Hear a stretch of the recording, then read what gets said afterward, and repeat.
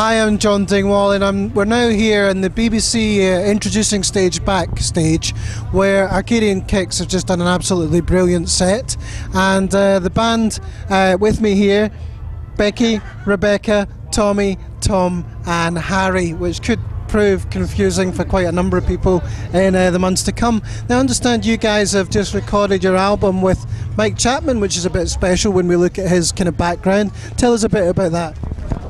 Um, we went into a studio uh, called uh, Vale Studios in Evesham. It's really like analog based sort of studio, so it had a really nice like vintage sound. Uh, Mike was great to work with. We all got on, we got on really well. Great experience, really. Yeah.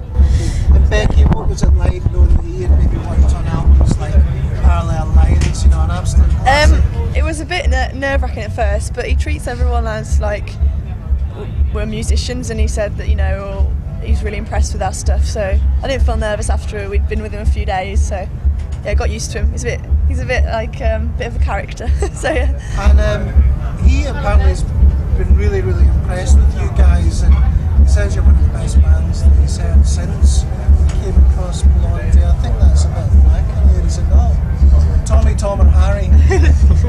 yeah, I think we don't. Well, it, it does fill us full of confidence to know that. Big compliment. so, yeah.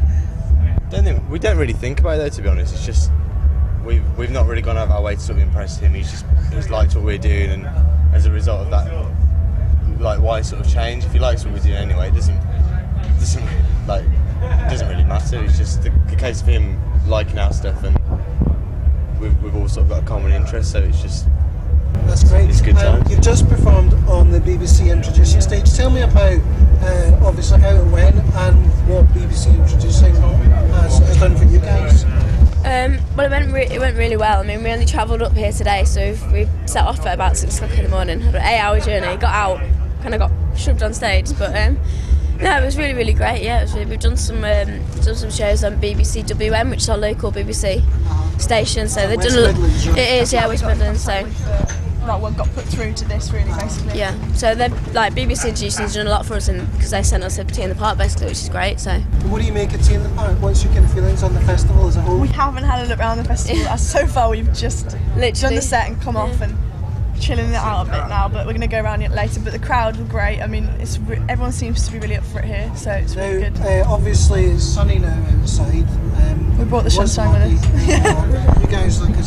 got the boots. Got a bit the of very mud, yeah. least. But, I mean, you know, you could get splashed. Have you got Yeah. uh, big? kind Yeah, we're going to go and get out of our costume change. Yeah. we're going to mudsliding competition in later. Yeah. We're gonna go see who can outslide us, and then Right, you better be quick. best of luck to Someone's them. drying up. You know. yeah. Well, I understand you're going to do a song for us. Which song are you going to do? Um, I can't sleep. It's called. Yeah, we're going to do that acoustically. Right, Yeah. well, Arcadian Kicks, thank you very, very much and look forward Thank to you. hearing from you in the future. Thanks. okay, yeah, thank you. Thanks a lot.